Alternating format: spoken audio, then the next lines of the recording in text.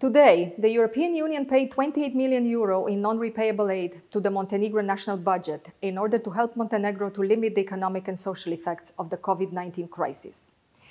This is only the first part of the non-repayable budget support, which is available to Montenegro, worth a total of 40.5 million euro. The remaining funds will be paid after Montenegro meets a set of commitments, most importantly to provide funding to small businesses and to fund social allowances for the most vulnerable in the population. The budget support is part of the 53 million euro of the EU's non-repayable aid to Montenegro to urgently buy medical equipment, improve health services, and assist the socially underprivileged individuals and the businesses most seriously affected by the COVID-19 crisis.